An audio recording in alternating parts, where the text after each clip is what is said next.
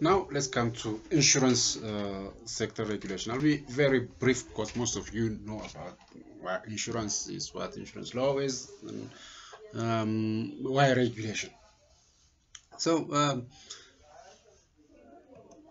insurance regulation, uh, the rationale for insurance uh, regulation is that uh, the, the purpose is to protect insurance as a financial service industry to to to uh, to, to create a healthy and sound financial uh, uh, sector in the country. So insurance are connected with banks for one or another reason. For example, most uh, most most borrowers have to buy insurance when they uh, borrow money from a bank in order to insure uh, the, the, the lender bank against risk of non-payment. So almost all mm, bank loans are supported or backed by insurance policy. So the failure of an insurance therefore can create uh, problem risk for banks. So there is this kind of interconnection. Most businesses have insurance schemes. A business cannot run without having you know security against various types of uncertainties, uh, losses. So all therefore economic activities are you know supported by insurance in such a way that you know, the, the, the, the, there has to be an insurance scheme for people to go out and transact with each other to do business whatever types of business. So insurance is therefore very very vital for the economy. So insurance regulations therefore is aimed at you know, making these financial institutions or insurance companies strong uh, and able to you know uh, resist different uh, economic uh, stresses you know, bad and volatile economic situations. For example in current covid environment businesses are in, in trouble. So some of these businesses may fail may go bankrupt. If they have an insurance scheme then the insurance has to pay. So uh, that has to compensate them therefore insurance companies should be strong enough to survive such economic difficulties. For that, regulation is aimed to make them strong and you know uh, stress resistant. Insurance uh, regulation is also aimed at protecting policy holders, uh, different policy holders. So uh, based on this, uh, insurance regulation has two uh, types it's prudential and non-prudential uh, regulatory requirements like we have seen in relation to uh, banks. Let's see uh, uh, the types of risks insurance companies are exposed to uh, the technical and non-technical risks. For example risk of miscalculation against insufficient premiums. Most insurance companies in ethiopia for example in the automobile business provide uh, you know, coverage with insufficient premiums.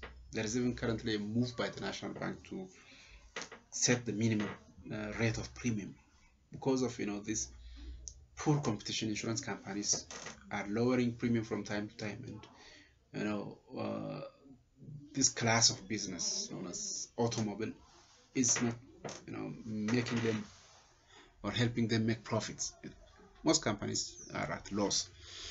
So this is a problem of you know, miscalculation of you know premium. Miscalculation of risk. Uh, risk of you know insufficient funds to cover liabilities. Risk of non-payment by reinsurers. Nature of insurance business is very complex. That most insurance companies almost all insurance companies have reinsurance relationship because there may come a huge risk beyond their capacity capability to compensate. So in such cases, they have to get compensation from bigger foreign insurance, which are known as reinsurance companies. Um, risk of unexpected accumulation of loss. Know, losses may accumulate. COVID, for example, may bring huge amount of accumulated loss. Every business may make loss or may, may, may, may, may suffer some kind of loss.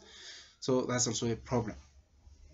Uh, risks connected with investment decisions. Insurance companies are expected to make investments because they hold uh, long-term assets in their hands. So risk of wrong investment decisions can also bring the insurance industry to its knees. So regulation is therefore justified on all these uh, uh, factors and the type of regulation can be both prudential and non-prudential we have seen you know, the justification for prudential regulation.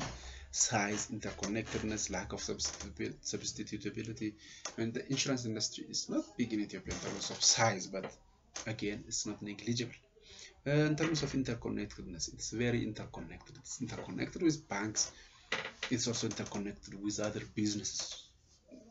Theoretically all businesses need insurance to to to get into business and confidently you know you know play in the market.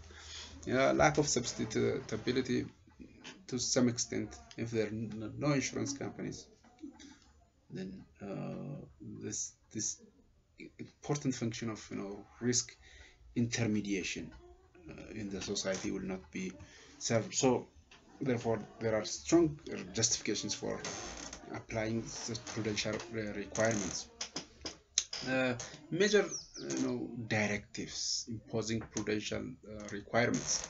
Licensing is very important. It's already licensing minimum capital uh, requirement.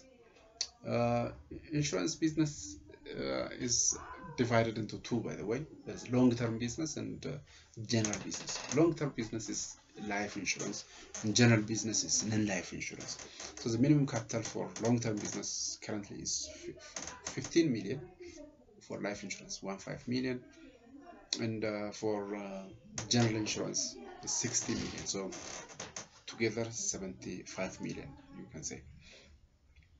There are other directives uh, besides these entry requirements of uh, you know fitness and propriety and minimum capital there are other directives post entry uh, directives uh, regulations so regulatory requirements margin of solvency directive statutory reserve there has not been statutory reserve actually there is legal reserve directive investment of assets corporate governance and so on they, are very similar with banking regulations and microfinance regulations. So I'll not go into details here.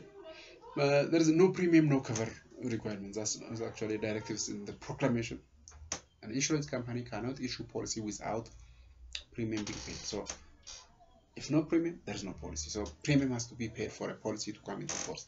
That's uh, introduced in Proclamation 7 46 2012 before that proclamation there was a lot of problem related to payment of premium. Policy is issued on credit basis and when the risk occurs you know uh, it was a very big problem. So uh, with this let's go to cross-cutting topics in uh, in, in all uh, financial uh, sector regulations. Here we'll look at financial inclusion anti-money laundering, terrorist financing, countering of terrorist financing, capital market development, financial sector liberalization. Very uh, uh, briefly, we'll uh, look at all these issues